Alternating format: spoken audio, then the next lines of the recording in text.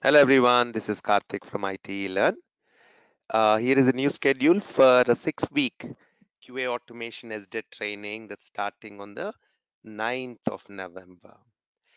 I broke this training down into three sections team and uh, we listed down all the tools and processes methodologies that every QA engineer must know in today's world.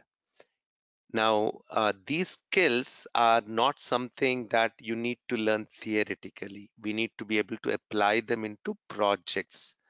And that is very critical for us to understand what does each of these tools do and how you could master them one by one.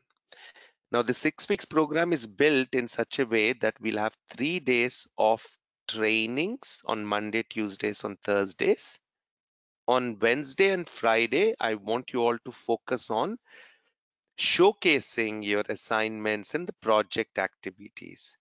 So that way we can keep a good check on how you're learning as well.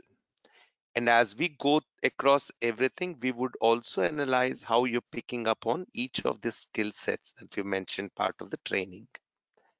So team, uh, do register on itelearn.com slash live and start attending this uh, training. A lot of content that we will provide is being prepared um, in a very fresh manner uh, based on what the industry today requires.